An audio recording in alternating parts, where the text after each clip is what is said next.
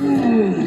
Who says I'm too old for stuffed animals? Mm. Hey, boss, I got something. Yeah, too bad there's no cure.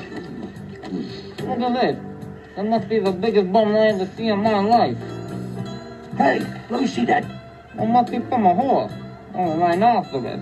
Or prehistoric mastodon. Good job, Pete. You found my bone. Your bone, boss? Sure, I heard it here yesterday. Man, just my luck. You know what? I think I hear somebody coming. Why don't you go check it out? All right. Sucker. Yo, boss, you was right.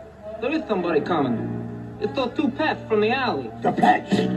Hey, let me see.